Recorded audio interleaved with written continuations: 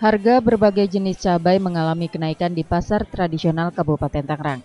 Kenaikan tertinggi terjadi pada harga cabai merah keriting yang naik 50 persen. Dari Rp25.000 per kilogram, kini tembus Rp45.000 per kilogram. Tak hanya cabai merah keriting, kenaikan juga terjadi pada cabai rawit merah yang sebelumnya Rp20.000 naik menjadi Rp30.000 per kilogram. Sementara pada cabai rawit hijau yang sebelumnya Rp15.000 per kilogram, kini naik Rp5.000 menjadi Rp20.000 per kilogramnya. Sementara untuk harga bawang merah yang sebelumnya hanya Rp15.000 per kilogram, naik menjadi Rp18.000 per kilogramnya. Selain harga cabai yang naik akibat dampak cuaca buruk, kenaikan juga terjadi pada harga telur ayam dari Rp16.000 menjadi Rp22.000 per kilogram. Harga cabai naik bang ya? Iya. Bang, kalau untuk cabai merah keriting berapa bang? Sekarang 45.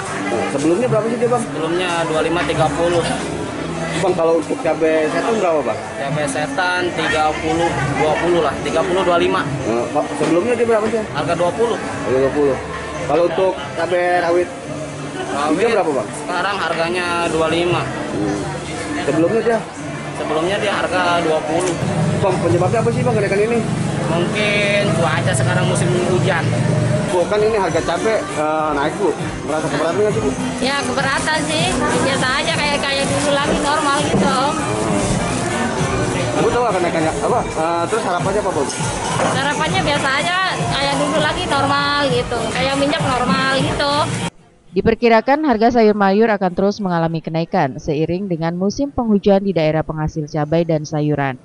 Herman Arif, Kabupaten Tangerang melaporkan untuk CTV Network.